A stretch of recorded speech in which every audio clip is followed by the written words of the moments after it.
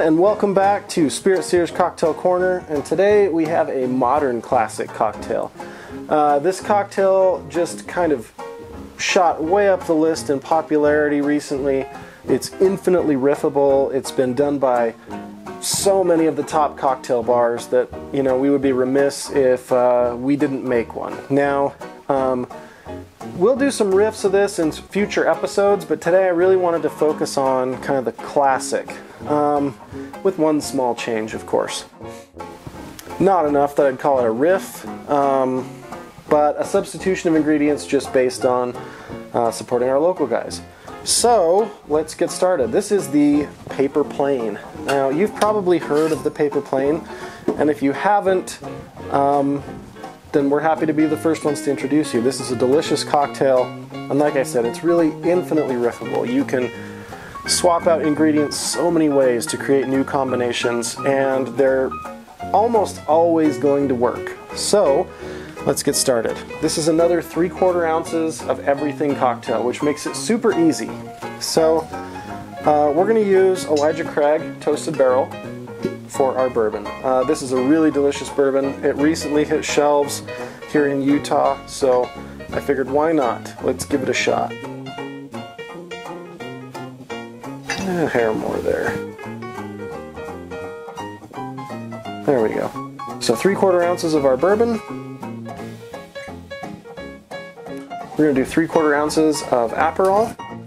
Um, Aperol is a lot like Campari, but it's much, much, much less bitter. Still kind of grapefruit based, but it's not to dry your mouth out quite like Campari does. So we're to go with three quarters ounce of Amaro. Now the traditional paper plane calls for Amaro Nonino. We can't get that here in Utah. Um, and a lot of the Amaros that we can get um, are kind of boring, but we're very fortunate to have a local distillery um, who makes excellent Amaros. So I'm to be using their Box Death Hollow Amaro. This came out this year. Um, it's kind of rhubarb forward and very earthy, and it's a great stand-in for the Nonino.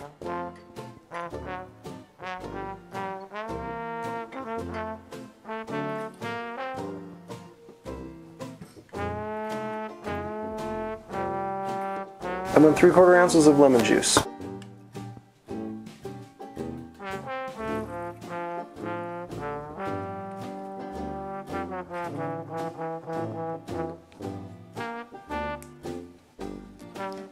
Just gonna throw some ice in our tin here.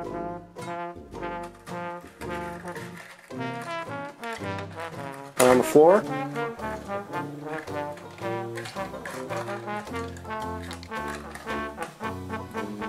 and we'll give her a good shake.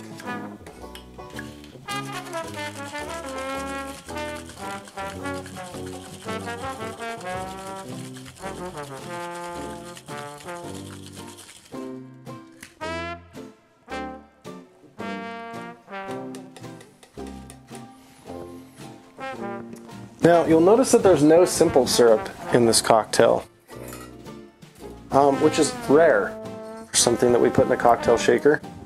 So all the sugar is going to be provided by our Amaro and our Aperol.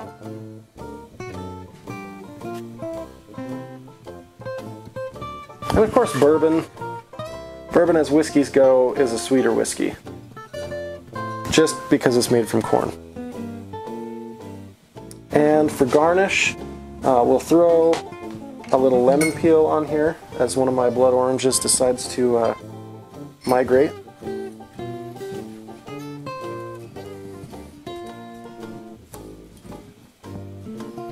Not a very big lemon swath, but it'll do. We're just going to express this over the drink and kind of slide it in. So this is the paper plane.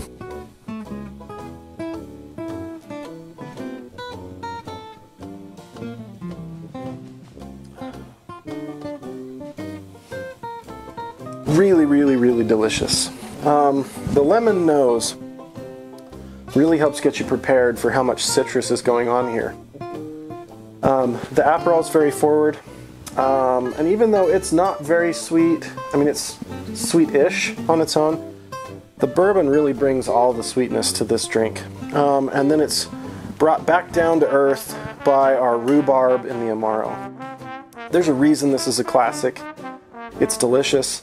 Really, I could drink these all day. Um, and you can see how easy it would be to just swap ingredients around. You know, swap out bourbon for scotch or rum or rye, uh, maybe even gin. You know, all of those things would work if you didn't change anything else.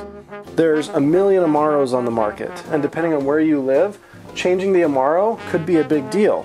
Um, you know, here we're fortunate enough to have some local guys who do it really well. Um, but if you live, say, in California or you know somewhere on the East Coast, you have access to a lot more Amaros than we do, really easily. Um, you know, if you want more bitter in your drink, you could easily swap out the Aperol for Campari. Or you could throw in something, you know, like Leopold Brothers if you're maybe from Colorado or somewhere who can get those. Um, but yeah, just such a perfectly balanced drink. It's really simple to make, and there's a reason why it's kind of become a bartender's favorite all across the country. So if you decide to try it, uh, and I hope you do, uh, leave us a comment down below and let us know what you think. Um, or what you changed, you know, to make it your own. Um, also, you can check out our Teespring store. There's a link down there. Don't forget to like and subscribe to our channel if you haven't already. We've got tons of awesome content and tons more uh, planned for the future. So uh, we hope to see you again. And until next time, keep the spirit.